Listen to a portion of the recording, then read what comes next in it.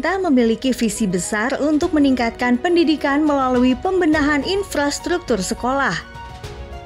Hal ini selaras dengan pasal 45 ayat 1 Undang-Undang Nomor 20 Tahun 2003 tentang Sistem Pendidikan Nasional bahwa setiap satuan pendidikan formal dan nonformal menyediakan sarana dan prasarana yang memenuhi keperluan pendidikan sesuai dengan pertumbuhan dan perkembangan potensi fisik, kecerdasan intelektual, sosial, emosional, dan kejiwaan peserta didik. Lebih lanjut, ketentuan pasal 25 Peraturan Pemerintah Nomor 57 Tahun 2021 tentang Standar Nasional Pendidikan dinyatakan bahwa 1. Standar sarana dan prasarana merupakan kriteria minimal sarana dan prasarana yang harus tersedia pada satuan pendidikan dalam penyelenggaraan pendidikan. 2. Sarana sebagaimana dimaksud pada ayat 1 merupakan segala sesuatu yang dapat dipakai sebagai alat dan perlengkapan dalam mencapai tujuan pembelajaran. 3. Prasarana sebagaimana dimaksud pada ayat 1 merupakan fasilitas dasar yang dibutuhkan untuk menjalankan fungsi satuan pendidikan. Dana alokasi khusus atau DAK fisik bidang pendidikan SMA merupakan salah satu bentuk transfer ke daerah dan implementasi dari amanat Undang-Undang Nomor 23 Tahun 2014 tentang pemerintahan daerah. Assalamualaikum warahmatullahi wabarakatuh. Salam, Om Swastiastu, Namo Buddhaya, Salam Kebajikan, Salam Sejahtera bagi kita semua. DAK Fisik Pendidikan yang dikelola pemerintah provinsi bertujuan untuk mewujudkan pemenuhan standar sarana dan prasarana belajar pada setiap satuan pendidikan yang mengacu pada standar nasional pendidikan. Adapun tujuan DAK bidang pendidikan menengah lainnya adalah meningkatkan kualitas sumber daya manusia, memberikan bantuan kepada pemerintah daerah, dan meningkatkan kualitas sarana dan prasarana pendidikan.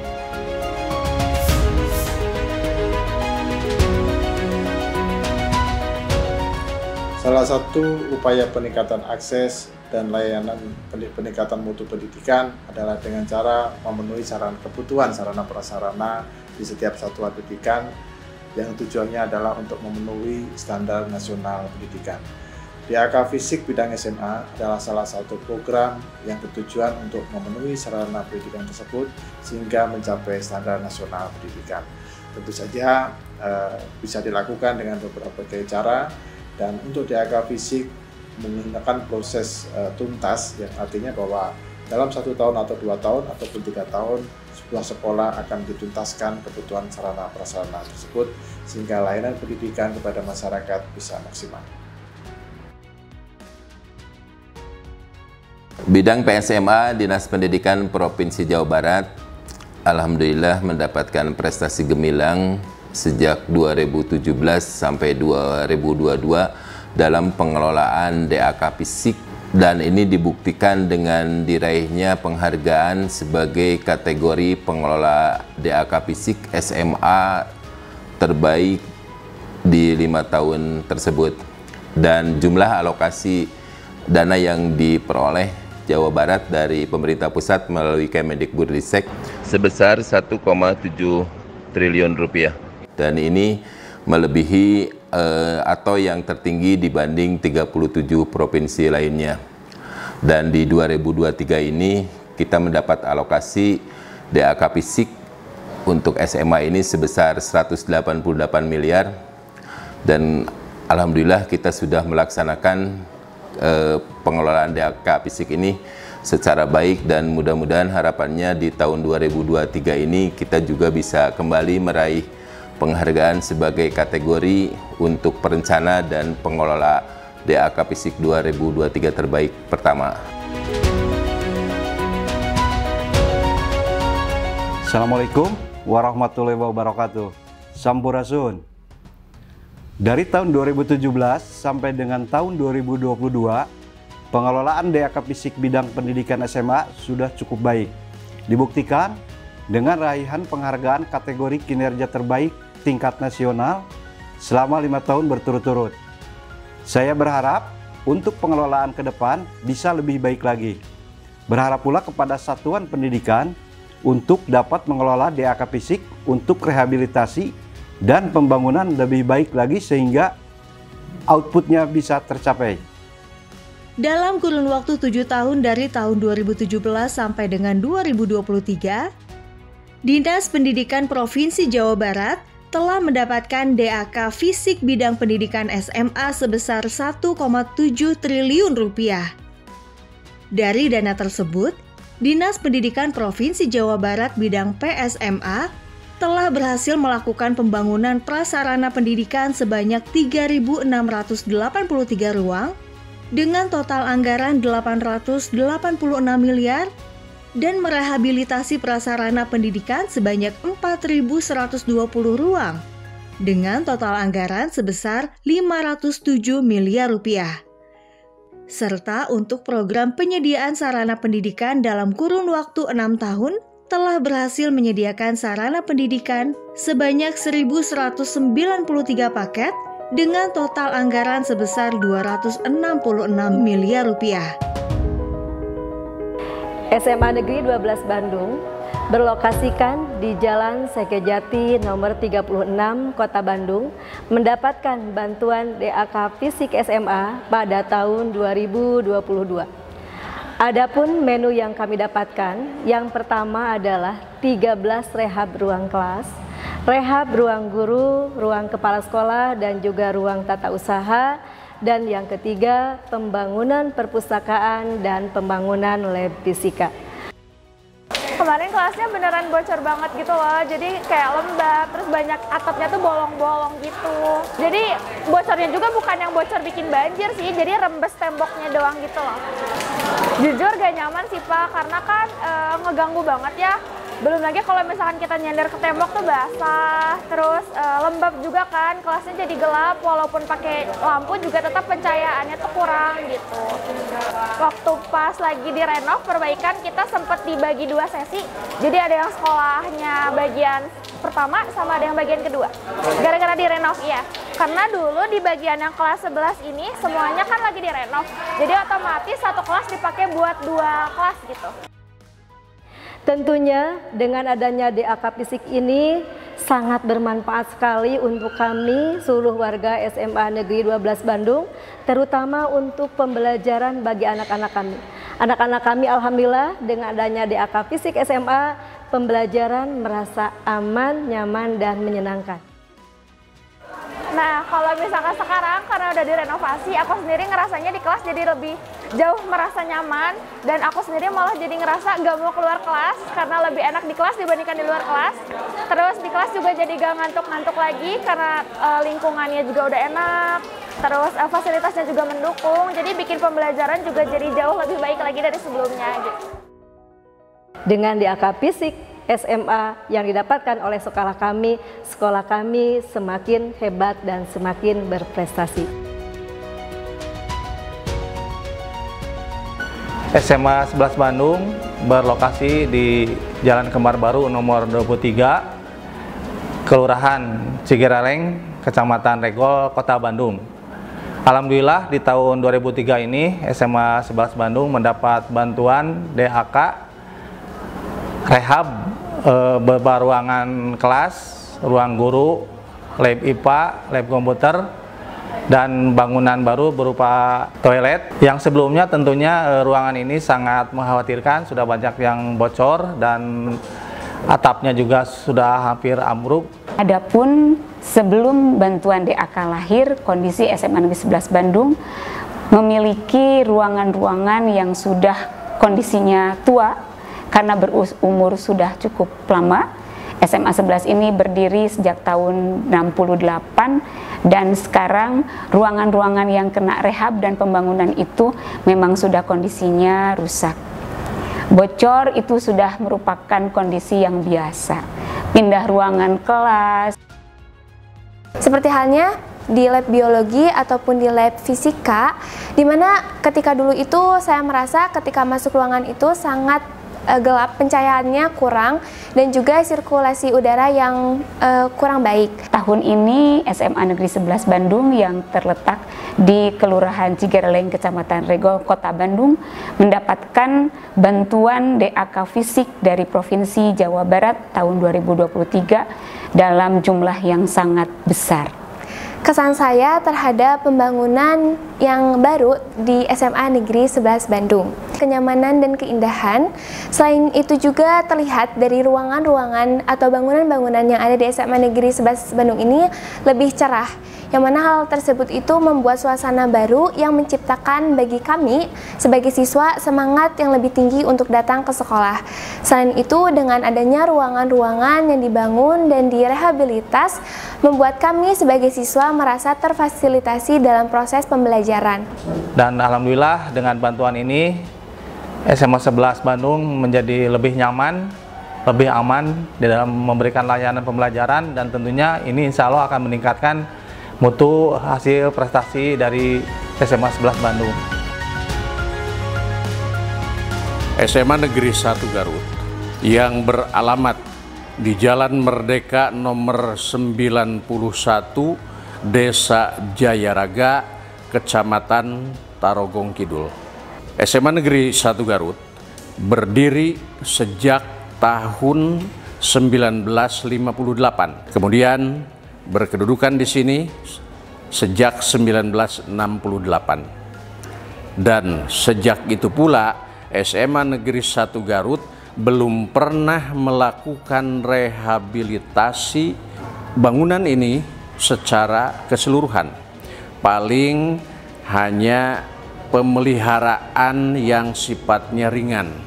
Oke, okay, mungkin uh, pengalaman aku di kelas 11 ya, yang notabene-nya kelasnya itu di ujung dan itu dekat sekali sama uh, eh, WC. Nah, WC itu tuh kayak sering apa ya? mengeluarkan bau-bau yang gak sedap kalau kita lagi uh, belajar kelas 11 MIPA 2 itu yang di atas itu penerangannya cukup apa ya redup-redup gitu loh karena uh, menjor kelasnya tuh menjorok ke belakang. Tapi kalau di kelas 12 MIPA 2 yang di depan ini yang baru itu penerangannya cukup uh, terang gitu menerangi kalau kita lagi belajar. Oleh karena itu dengan adanya bantuan DAK Fisik SMA tahun 2023 kami sangat berterima kasih sebab banyak sekali bantuan yang diterima oleh SMA Negeri 1 Garut seperti ruang kelas 8, ruang guru, ruang BK, ruang UKS, ditambah toilet, pembangunan toilet. Alhamdulillah awalnya kami selalu dihantui kekhawatiran dalam proses KBM karena usianya yang sudah tua itu takut amruk walaupun sering kita pelihara itu hanya yang sifatnya ringan. Tapi Alhamdulillah sekarang kami sudah merasakan tenang nyaman siswa juga belajarnya kondusif. Insya Allah dengan belajar yang kondusif, guru, siswa, lulusannya pun akan menghasilkan kualitas yang relatif sangat baik. Ya, Alhamdulillahnya setelah kelas 12 dan kelasnya setelah direnovasi mungkin uh, motivasi belajar dan rasa belajarnya kita juga cukup nyaman karena ya dengan fasilitas-fasilitas yang baru dan yang sesuai dengan apa yang kita harapkan itu membuat belajar kita menjadi lebih baik. Selain perbaikan fasilitas-fasilitas yang tadi, kami juga dapat menambah ruang terbuka hijau yang diisi dengan atau yang ditanami dengan tanaman-tanaman yang cukup uh, indah sehingga membuat uh, suasana uh, sekolah kami menjadi lebih asri, lebih indah dan lebih enak untuk dipandang mata. Selain itu, siswa juga dapat menggunakannya untuk uh, meng, apa, melakukan pembelajaran di luar kelas dan tentunya uh, tentu saja ini dapat membuat mereka menjadi lebih nyaman, lebih aman dan lebih betah lagi ada di sekolah. SMA 1 Rawamerta beralamat di Jalan Garunggung, Desa Panyingkiran, Kecamatan Rawamerta, Kabupaten Karawang. Pada tahun 2023, SMA 1 Rawamerta mendapatkan bantuan DAK Fisik SMA. Alhamdulillah, pada tahun ini SMA 1 Ramerta mendapatkan bantuan fisik SMA baik rehabilitasi maupun juga pembangunan. Ada beberapa ruang yang direhabilitasi yaitu ruang eh, kelas sebanyak enam ruang kelas, eh, lab fisika, lab biologi, perpustakaan, dan juga ruang guru. Dan untuk menu bangun ada ruang OSIS, ruang lab komputer, ruang tata usaha, ruang UKS, ruang BK, dan satu paket menu toilet. Dengan pembangunan DAK, SMA 1 Rawamerta memiliki wajah yang berbeda. Yang sebelumnya ruangan kami sangat memprihatinkan. Saya dulu belajar di kelas itu kurang nyaman ya karena uh, bocor terus juga fasilitasnya belum memandai kayak lantainya itu pecah-pecah terus atapnya bocor jadi kelas-kelas itu bocor terus juga basah jadi kita sebagai siswa juga kurang nyaman karena sering bocor itu kitanya jadi kurang fokus ke belajar kan tetapi saat ini ruangan kami sangat uh, luar biasa uh, ketika dilihat dari tampilan yang berbeda. Dampaknya adalah uh, masyarakat pun merasa sangat antusias uh, ingin menyekolahkan anaknya ke SMA 1 Ramerta. Termasuk juga apresiasi dari warga sekolah merasa bangga bahwa dengan adanya pembangunan DAK Fisik SMA, SMA 1 Rawamerta menjadi sekolah yang nyaman. Kayak saya juga pertama lihat pos satpam itu kayak wah udah bagus aja gitu kan, dulu mah nggak seperti sekarang. Terus juga benar teman-teman saya juga seperti wah saya pengen masuk nih ke sekolahan ini karena memang fasilitasnya juga sudah memadai. Wah gitu. Sangat dulu mah tidak seperti sekarang gitu kan. Sekarang mah sudah bagus nyaman juga buat belajar. Ke kitanya juga jadi semangat buat belajar ke depannya. Untuk teman-teman kelas saya semangat terus untuk belajar. Jadikan pembangunan kelas ini untuk uh, memotivasi kita untuk terus giat lagi belajar. Karena ruangan kelas sudah nyaman maka nggak ada lagi eh, alasan-alasan uh, untuk malas belajar SMA Negeri Binong berlokasi di Jalan Raya Binong nomor 125, Kampung Babakan Sapi, Desa Binong, Kecamatan Binong, Kabupaten Subang. Pada tahun 2023, Alhamdulillah SMA Negeri Binong mendapatkan bantuan DAK Fisik SMA sebanyak 9 menu. Yang pertama, pembangunan ruang kelas baru sebanyak tiga lokal, pembangunan ruang kepala sekolah, pembangunan ruang guru, pembangunan ruang TU, pembangunan ruang BK, pembangunan ruang lab komputer, pembangunan ruang lab biologi, pembangunan ruang perpustakaan, dan pembangunan ruang OSIS. Dengan berdirinya bangunan ini, kegiatan belajar mengajar ke depannya mudah-mudahan semakin bagus, semakin berkualitas, karena dulu sebelum ada bangunan ini, kami menumpang di SMP dan kondisi bangunannya sangat memprihatinkan. Kemarin itu kan kita masih ikut belajar ya di gedung lama. Itu ikut belajar di gedung orang dan jadi ke kitanya juga gak, gak leluasa gitu kayak selayaknya kita di sekolah sendiri. Banyak anak SMP yang berkeliaran jadi merasa terganggu gitu, jadi nggak bisa fokus buat belajar. Tuh kita naik motor masuk ke sekolah itu banyak genangan air. Ada juga beberapa anak-anak yang lain pada jatuh di situ gitu.